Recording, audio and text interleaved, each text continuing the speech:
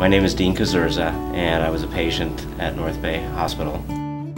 I experienced some upset stomach, um, some breathing issues, and a little bit of shortness of breath, but mostly a little bit of pressure around my chest. Enough that I just didn't feel good.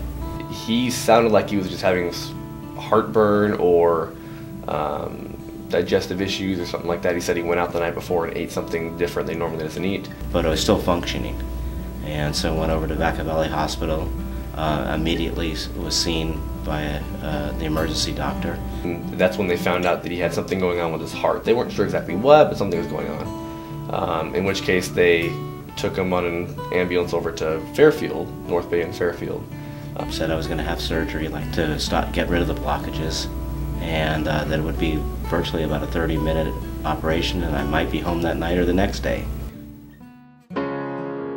It was worse than it seemed initially. So they, they did an angiogram in Fairfield as soon as they got there and um, they found the blockages and I think his heart went into shock at that time. The next person I saw was his heart doctor who came out and gave us an update and that's when he said that he, his heart went into shock and he uh, Dean unfortunately stayed at home for a number of hours having chest pain and upper abdominal pain.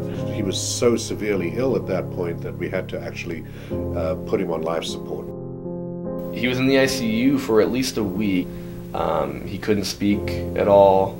He started to write on a piece of paper certain things, not really things we understood at first. And his time is muscle the sooner you get to the hospital, the sooner we can we can fix the artery, and the sooner you know that we'll salvage heart muscle. And the more heart muscle we salvage, the better the prognosis for the future.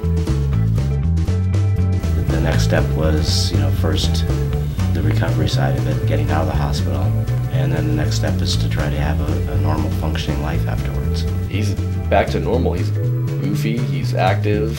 He likes to play tennis. He goes on hikes all the time. It's almost like it never happened. Dean is a very lucky guy because uh, we were able to save him despite having had a fairly large heart attack. He's fully active. He, I don't believe he's held back at all. I think a lot of it had to do with it was the timing.